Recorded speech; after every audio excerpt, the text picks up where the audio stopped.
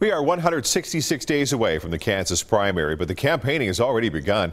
Mitch Weber spoke with Senator Pat Roberts about the recent controversy over his residency.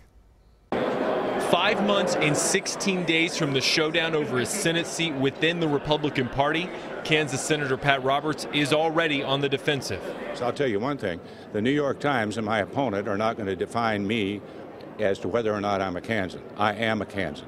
And I think most Kansans understand that. One Kansan for sure doesn't believe it. His primary opponent, Dr. Milton Wolf of Overland Park. He didn't bother to reestablish his Kansas residency until October 7th of 2013, once I got in the race. Before then, he owned rental property in Kansas, but he leased that out. Someone else lived there. Robert stands by his voter registration. He owns a home in Dodge City, even though he rents it out. I live in Dodge. I pay taxes in Dodge. We own a home in Dodge. Uh, that's where we just spent the last, you know, two or three days. But it shows.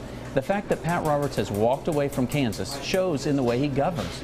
Pat Roberts has been in Washington for 47 years, and no one should be in Washington that long. I expect almost anything. You know, when you get into a primary fight or any race, uh, any any political race, you just have to expect you know, there's going to be these kinds of attacks. A fight over residency that technically sides with Senator Roberts. In Overland Park, Mitch Weber, 41 Action News.